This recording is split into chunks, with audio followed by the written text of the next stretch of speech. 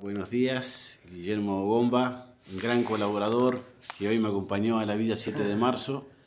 Y bueno, eh, contanos qué hicimos hoy eh, en el camino a la Villa 7 de marzo.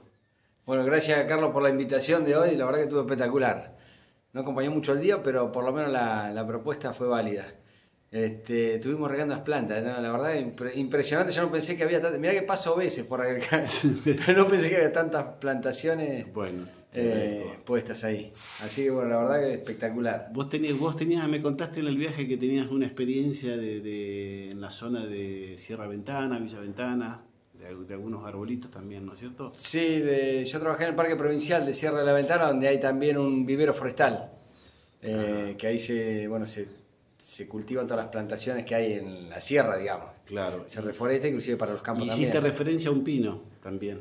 Sí, hay un pino tosquero que no es autóctono de la zona, pero que es un pino que resiste mucho el, las inclemencias del clima. Y se podría adaptar acá también a esta zona, ¿no es cierto? Y habría que ver. Habría que, ver. yo calculo que sí. ¿eh? Bueno, te vas a comprometer a... Eh, es más, más que nada tosquero, pero yo calculo que acá tiene que andar, sí. Bueno, Vamos a investigar un poco. Y además pusiste un eucalipto. Pusimos un eucalipto, ah, espectacular. Ahora me, obligaste a venir a regarlo toda la semana. El futuro bosque ahí.